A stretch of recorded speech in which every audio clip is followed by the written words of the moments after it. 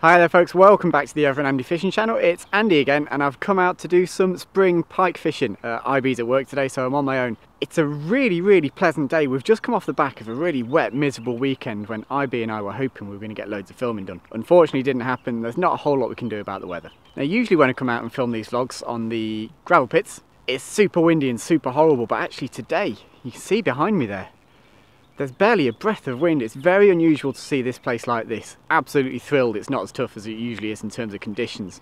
I've come to a pit today and in truth, I've tried to film a couple of vlogs on here before and found it really, really difficult. I don't know what it is, there's something about tough venues that just keeps me coming back. I should have given up on this place a while ago because over the years it hasn't really done much for me. But I keep coming back for more. Is there anyone else out there like that? Do you guys get attracted to tough venues, places where you really struggle? Because the struggle's been real here. It's super clear, like tap water clear. It's probably the clearest venue I've got, uh, which I think for today will necessitate the really natural looking baits. I'm thinking like perch and pike replications and stuff like that. Nice natural roach patterns. But to be honest, I've thrown it all in here before and it's never really paid off. I'm really keen on getting cracking on. I really like these conditions. I think it's totally different. Uh, spring is starting to spring. Spring is sprung. Sprung is spring. You can see there's a little bit of green down there. There's actually even some lily pads started to grow up. The place looks absolutely beautiful. All we need to do now is make it look a bit better with a pike in my hands. Let's give this a go.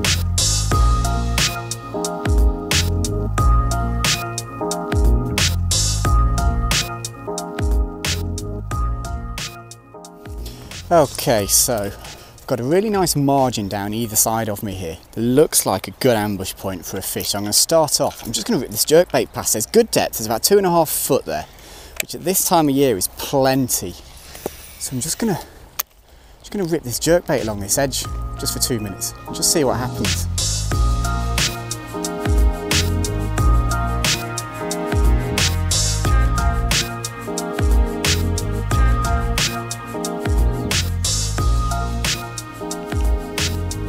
Oh, follow already. Oh, damn it. Already a follow. Wonder if I can get this back in there. Oh, he's turned looked. Come on. Still down there. Just about still see him. Okay, one more flip with this because I don't want to risk spooking him. Let this drop right the way down this time. Came in pretty hot. I thought he was going to eat that. And he kind of turned away on it. Come on. Okay, right, so straight away I'm going to switch to something that can fish slightly slower and a bit more naturally.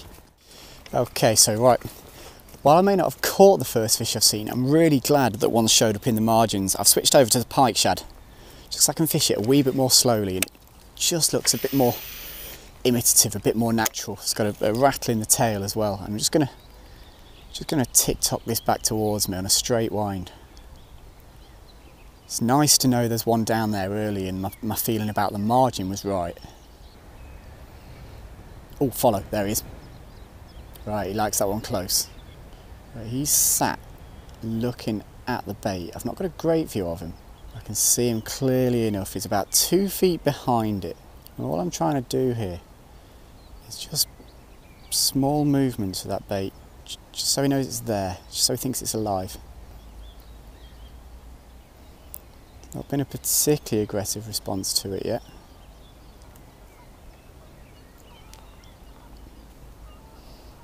Okay, I had to bring that out because I could see it was stuck on something.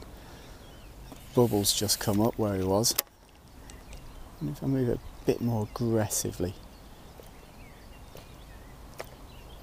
provoke an attack maybe. Nah, he's pretty dormant.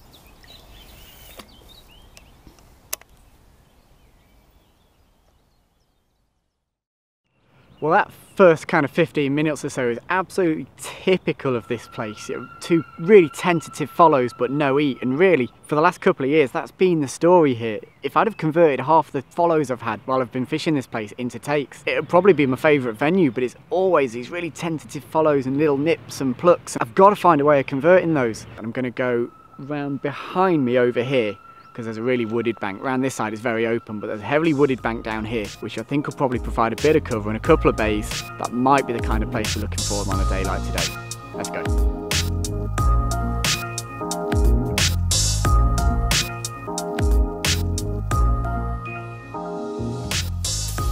Okay, back to that jerk bait and still working around this same bay and there's some lovely structure around here, you know, felled trees and stuff like that. It feels like a pikey area.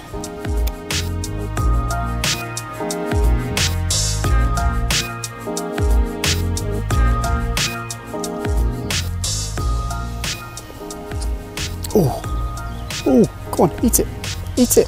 Oh, god damn it. Oh, there's a fish right behind it. Oh, proper flared on it as well. Oh, it's still there. It still is looking for it. Can see him looking for it. It's just gone around a circle. There it is, buddy. There it is. Eat it that time. He's right behind it. Come on, eat it. Oh my goodness, he's right below me. I had to stop for the moment because he's right down here at the rod tip. But he is fired up. Come on, buddy. Eat it. Oh, he took it. Still looking for it. There it is, buddy. Jeez, you like that retrieve. Ah. He's got it. He's got it. Yeah. Oh, jeez. Smashed it. Wow. Absolutely smashed it. That was so cool. Jeez, good job this isn't a bigger fish. I'd probably lost him to a hook pull. It's only just hooked. It's only just hooked. Come on. Come on, get in it. Get in it. Yeah, buddy. Woohoo! Woohoo! Well, if that isn't what summer jerkbait fishing is all about, I don't know what is. I mean, visual, fired up fish, fishing fast. Angry fish, this one. Really, really angry fish. Just give me absolute hell trying to unhook him. But we got there in the end. Jeez, he's fired up. I'm going to get this one back. he's still really angry, but interesting. I changed the presentation a bit there. And once I've got this guy back, I'm going to talk through what I changed. Where are you, buddy? Let's see if we can get you back for a nice easy release. There you go.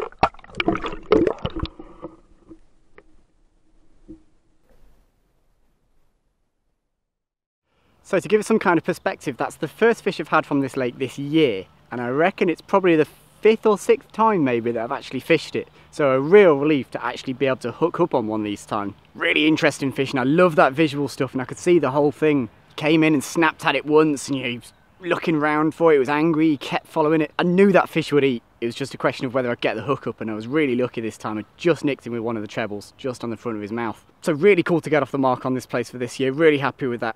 But I think the retrieve and the things I did differently there have given me a bit of an idea about what's going on. I was fishing that with lots of twitches, but I was fishing it much slower. I was allowing the bait to pull around 90 degrees and then jerk it. So it was coming in very, very slowly, but it was broadsiding a lot.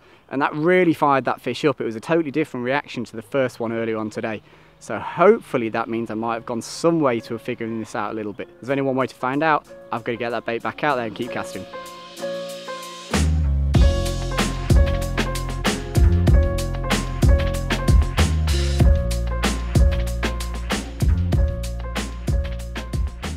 Okay, so I'm keeping moving around the lake and I've come to a little point in between two bays.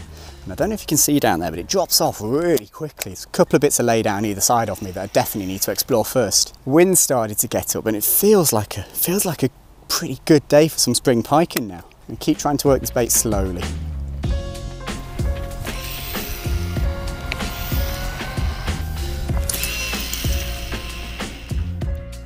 Okay, so no interest in this deeper water for the uh, jerkster. I'm kind of not surprised about that. All the follows I've had so far have been margin fish. So I'm going to go back to the hybrid pike. I'm, I'm going to be honest, this, this heavier rod is giving me a bit of a headache at the moment. I'm not really sure what to use. I mean, all the interest has been on smaller baits so far although at the same time I haven't fished water of this depth before. And then I'm also thinking, well, is this the right bait to fish in deeper water? Because it's not a particularly fast sinker. So I think I've got a decision made to, make here. While I'm in this deeper stuff, should I change to a, a shad with a heavy head on the front of it or something? I'll give this a go for a couple of minutes, but I don't feel like the hybrid pike's the right bait for the water I'm in right now. I've been wrong about this stuff before.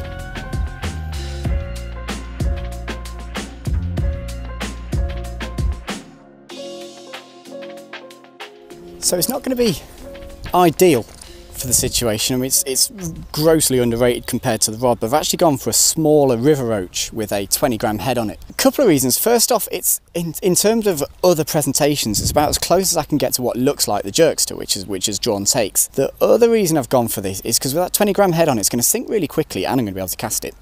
But also it means I can, you know, twitch it along the bottom a little bit and rip it and stop it. Kind of like how I'm fishing the uh, jerk bait. Right, yeah, casts all right actually just gives me a just gives me a chance to kind of imitate what I'm doing with the jerk bait, but in 15 feet of water rather than in three.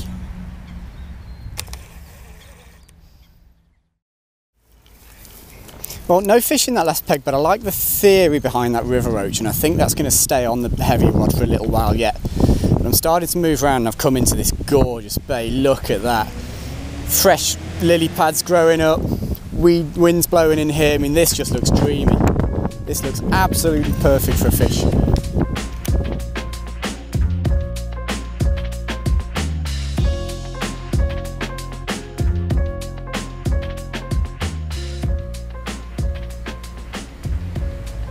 Follow.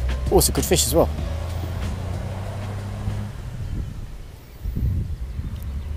Come on, do something with it. Here's a nice fish. Do you know what? I think what I'm going to do while he's still there is I'm going to back off grab the other rod that's got the roach on it.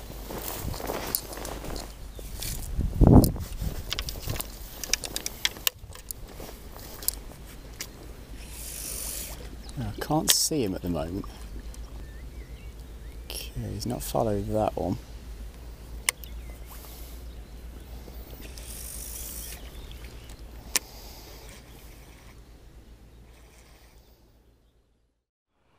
Well, after an unusually positive start for this place, it's gradually started to sit back into its normal position, which is really, really slow, lethargic follows from fish that don't look that interested. Uh, that last one followed a jerkbait in pretty quickly, but I never thought it was going to eat it. Just kind of ambled behind it and sat there for a couple of minutes. It never looked at the river roach. So the only thing I can think of doing really in that situation is just moving on, just keep moving. So I've come up to the next bay I've got loads of space. That wind's got up quite nicely now. You can almost see that behind me. It's a bit blown out. And it's put a little bit of a ripple on the water. And uh, you guys have heard me talk about this stuff before. I like that. I like to see that on the, on the water when I'm pike fishing. So I'm still hopeful. There's loads of time left. I've only been here just over an hour. I'm seeing fish. All I've got to do is try and convert some of these follows into takes. We could have a really good day here.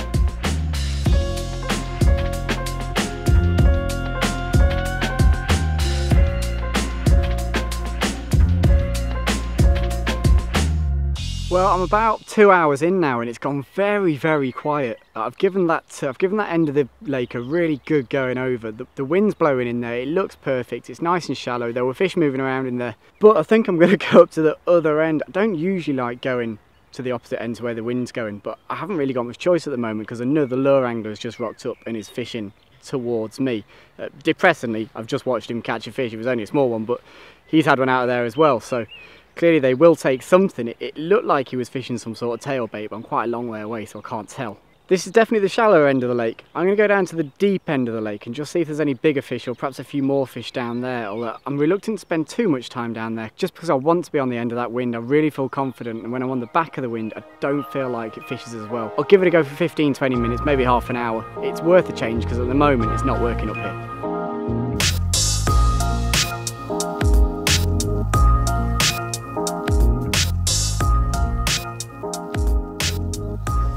Okay, so I've made the move, like I said. It's not a move I'm massively thrilled about, but there wasn't really much more option with that other guy already going over the water that I'd fished earlier. So it's definitely calmer down here. Uh, it's definitely deeper down here, but to start with, I'm going to stick with that jerk bait and just fish the, just fish the margins and the edges just for a few more minutes.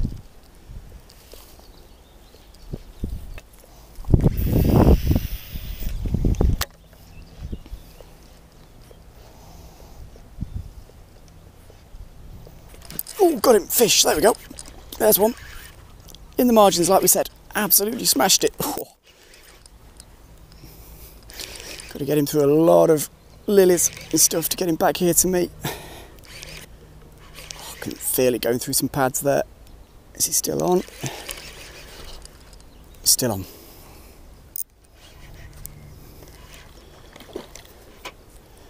Right. Slightly bigger fish than the first one, I reckon. He's making some fuss, that's for sure. Yeah, bigger fish than the first one. Wow, strong. Strong, strong, strong. Big one. There he goes. Right. Grab the net.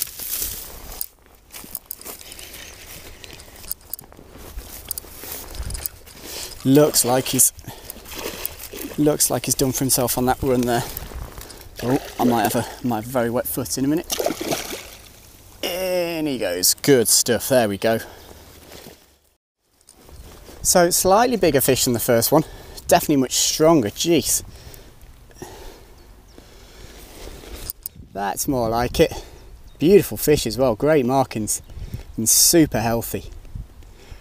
Decent weight as well. It's actually quite a heavy fish. I'll give that one a quick measure on the tape and we'll get a slip back. Jeez, I like those jerksters. Woohoo! There she goes. Ah, so cool.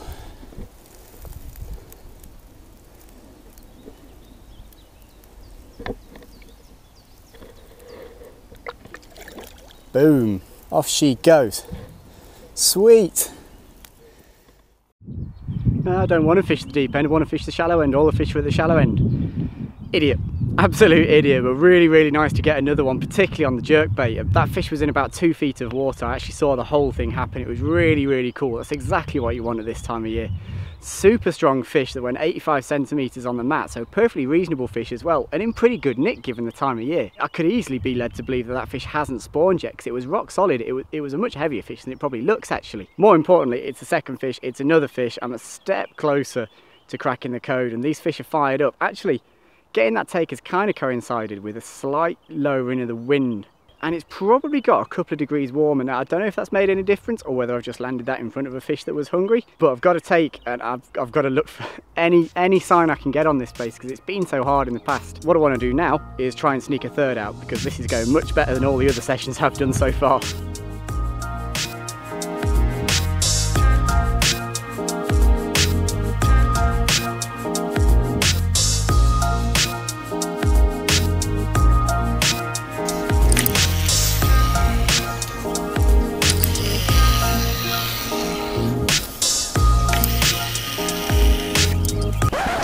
Stop there a second. Now, I wasn't going to include this bit in the edit. I decided very early on that this was going straight in the bin, but actually I've decided to put it in there because it's important. A little bit of context here. So four or five times during the day, I'd had it happen where I was just getting that jerk bait to a crucial area and then it wrapped around the trace. You guys have all had it happen before in you're fishing jerk baits. It just kept happening at really important times. And just this once, I lost my rag, I lost my temper a bit, and this happened. Oh. So not my proudest moment, I'm not particularly pleased with that one, but I've probably got what I deserved. That was a 70 gram jerkbait hitting me at whatever speed. Uh, um, to be honest, I was pretty lucky that it hit me on my hip rather than in my face or around my head area, because that could have been really nasty. I've got a really good bruise today, but it could have been a lot worse. So kids, whatever you're doing, don't mess about with trebles, don't lose your concentration. There's danger everywhere doing this, so just be careful. Don't do what I just did, because that was really stupid.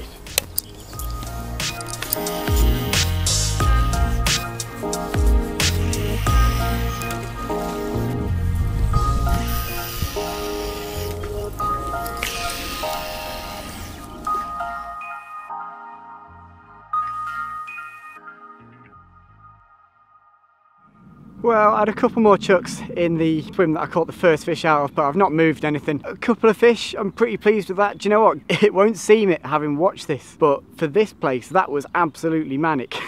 it's been it's been so hard. I've really struggled on here, not necessarily to find fish, but just to get them to eat. So to get two good takes, you know, they both absolutely slammed it. It's a real plus one, not only for the conditions on the day, but for the bait. I mean, they, geez, they love that jerkster at the moment. They're absolutely crushing it.